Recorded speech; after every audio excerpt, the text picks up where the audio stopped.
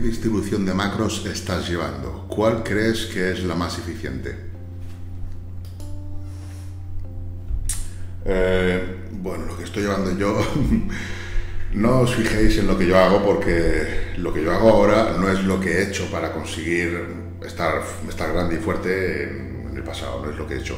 Ahora hago mm, lo que me da la gana, hablando en plata. No es lo mismo mantener que, que mejorar. Mejorar es muy complicado.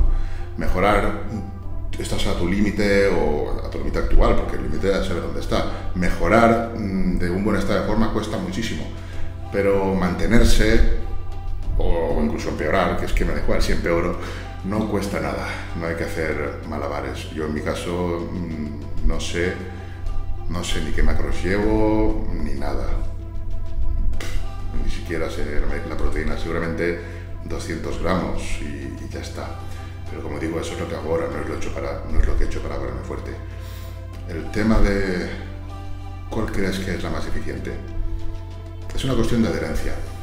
Es una cuestión primero de adherencia. Ahora bien, si te da igual porque te adhieres a cualquier dieta, desde luego que para mí sería una distribución con los hidratos altos.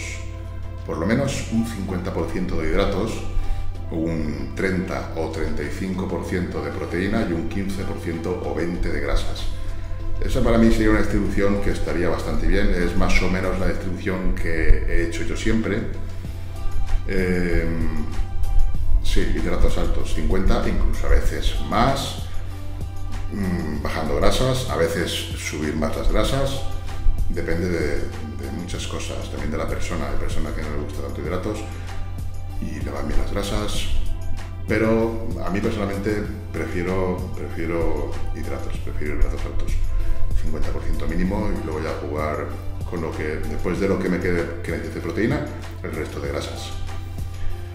Eso sería para mí una buena distribución.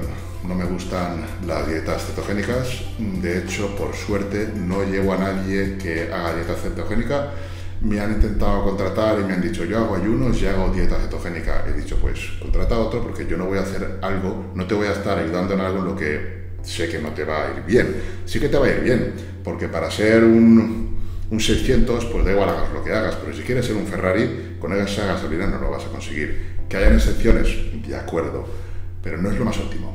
Para los deportes, no de fuerza, porque fuerza da igual, pero para hipertrofia no es lo óptimo. Y más conforme son mis entrenos, que son bastante demandantes por la vía glútica, se necesitan unas buenas cargas de hidratos, se necesita mucha comida y eso con una dieta cetogénica es muy complicado. Es como pretender hacer crossfit con cetogénicas, que se puede, claro que se puede. Y más si eres un 600. Ahora, si eres un Ferrari, va a estar complicado que llegues a ser un Ferrari con dietas cetogénicas. Incluso hay casos de ciclistas que son muy buenos, de repente hacen una cetogénica y pierden rendimiento, pero lo que no está escrito. Pero claro, son ciclistas de élite. Lo hace un ciclista amateur y a lo mejor no tiene ningún problema. Pero cuando lo hace uno de élite, es imposible llevar ese ritmo. A eso es a lo que me refiero, que en personas normales, de calle, como el 99,99 de la población, pues da igual. Pero cuando hablamos de máximo rendimiento, la cetogénica no es para nada lo óptimo, por lo menos desde mi punto de vista, lo que yo he visto, no de que lo haya visto personalmente, sino en estudios, estudios de atletas de élite, no de gente de la calle, ni de cuatro universitarios que se juntan para hacer un estudio de tomar cetogénica. El máximo rendimiento, desde luego que no.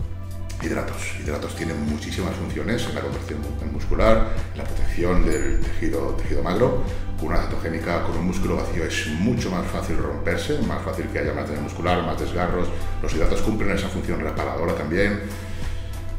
Los hidratos, 50 mínimo y a no ser que haya excepciones que no te dan menos hidratos, te sientan mal, te dan gases, te dan hinchazón, vale, pues entonces ya hay que hacer otras cosas. Pero si los hidratos van bien, 50. Eh, a partir de ahí, pues bueno, se puede bajar a 40, 45, pero ya digo, hidratos.